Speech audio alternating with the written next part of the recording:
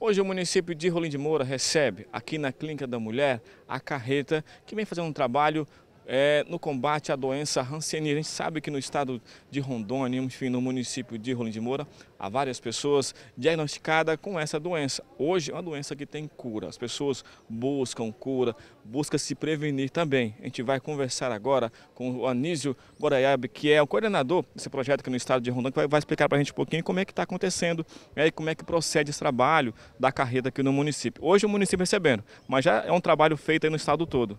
Sem dúvida. Obrigado, Mário. Quero cumprimentar aqui o telespectador do SBT e dizer para vocês que esse projeto chama-se Projeto Roda Rãs. Roda porque ele roda o Brasil e Rãs, que é de combate à rancenias.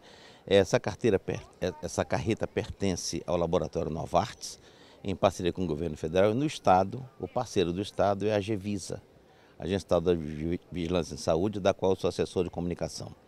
É, este projeto visa combater uma doença e você foi bem feliz quando você fala que nós temos muitos casos em Rondônia. Rondônia, por incrível que pareça, é o sexto estado do Brasil com maior índice de rancenianos. Nós temos que sair dessa colocação. E o Brasil, pasmem vocês, é o segundo país no mundo com maior número de pessoas infectadas com essa doença. Uma doença que ainda causa muito preconceito, porque no passado era chamada de lepra. Por quê? Porque o bacilo, ou seja, a bactéria que causa a doença chama-se lepra. Então quem tinha lepra era leproso.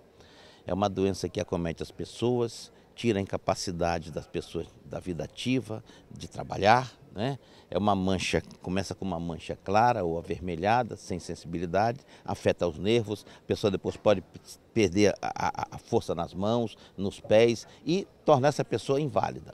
Portanto, venha aqui, como ele falou, do Hospital da Mulher, né? traga a sua identidade, a carteira do SUS, não paga nada. Essa carreta comporta de cinco consultórios, um laboratório, e o exame é inteiramente grátis. O exame, a consulta e o medicamento.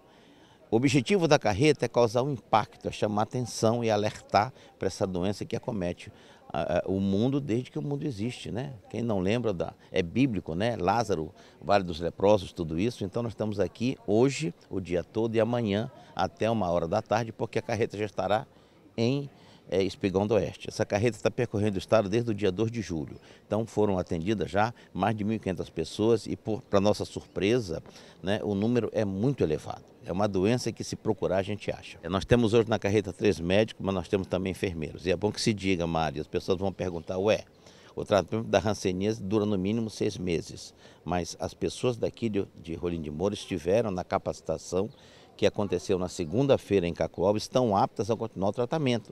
Não pense você que a carreta indo embora você vai ficar desamparado, não.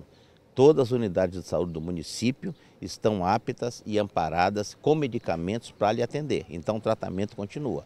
A carreta vai embora, mas você não pode abandonar o seu tratamento.